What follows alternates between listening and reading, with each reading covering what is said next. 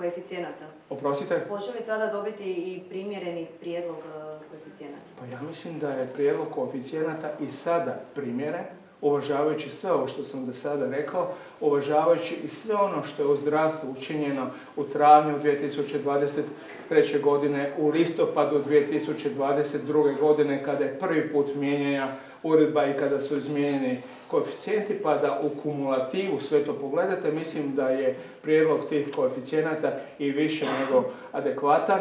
Ono što trebate znati da se mi u zdravstvu borimo za zdravstvene djelatnike, ali pri tome imamo granice, granice koje postavlja Ministarstvo financija.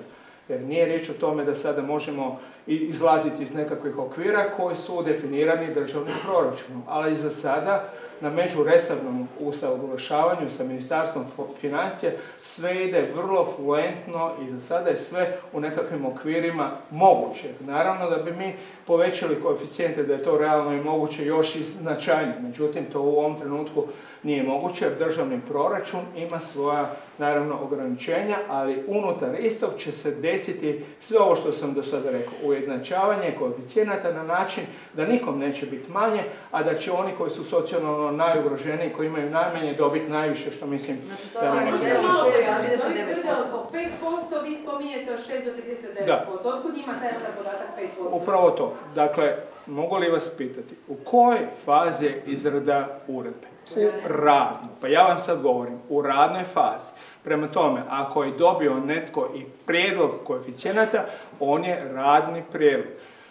Zadatak je veliki ekstreman. Dakle, na nivou čitave države, svih javnih i državnih službi ujednačiti koeficijente da bi se jednaki rad platio jednako i da k tome niko ne bi imao manje. To je ekstremno veliki zadatak gdje stručne službe, ne ja kao ministar zdravstva, ali naše stručne, službe sudjeluju u aktivnostima Ministarstva pravosuđa koji vodi taj proces za... A možete nam pojasniti ovo od 6 do 39%? Šta to na nekim primjerima znači? Pa ne mogu vam ja govoriti sad o primjerima, niti je sada vrijeme prije donošenja konačne uredbe govoriti o Jel nekakvim primjerima. 20%?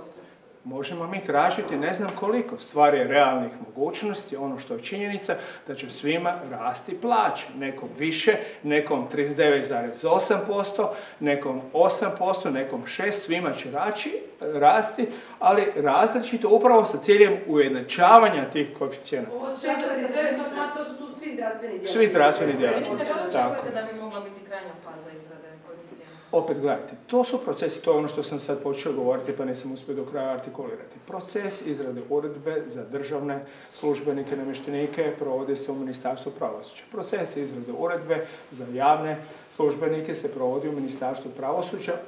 Oni koordiniraju sve naše aktivnosti, mi sudjelujemo naravno sa aspekta funkcioniranja zdravstvenog sustava i možda je bolje njih pitati. Ja vjerujem da postoji određeni rok, to je mislim činjenica da u travnju bi trebali po novim koeficijentima primiti plaću za ožujak, stoga vam to sve skupa govori. Bojite li se da će doći do štrajka u konačnici? Pa ja se ne bojim, jer ako ste objektivni, ako sagledate sve ovo što sam rekao, vidimo da smo na tragu rješavanja mnogih pitanja u napređenju desetljeća zanemarivanih problema u zdravstvenom sustavu, a sve kako u korist zdravstvenih djelatnika, ali više u korist građana ove zemlje, potencijalnih i sadašnjih pacijenata kojima smo u cijelosti fokusirani.